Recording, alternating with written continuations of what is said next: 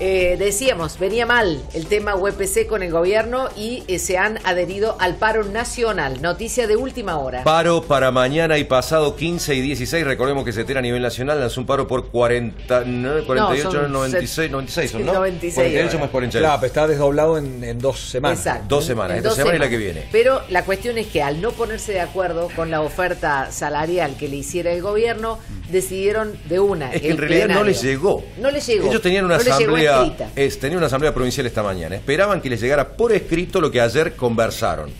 Como no les llegó, decidieron adherir al paro. Vamos a escucharlo a Juan Monserrat. ¿Cómo no? A ver.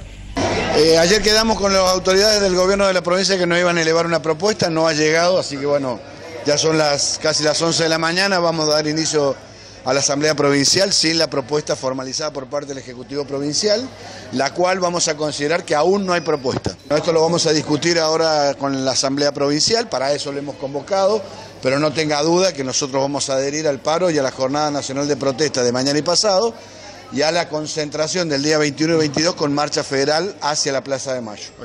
Ahí estaba la palabra de Juan Monserrat, titular de UEPC. Se tensa entonces el asunto en Córdoba y se va al paro miércoles y jueves. En Córdoba, capital, 23 grados. La actual vamos a una máxima de 32.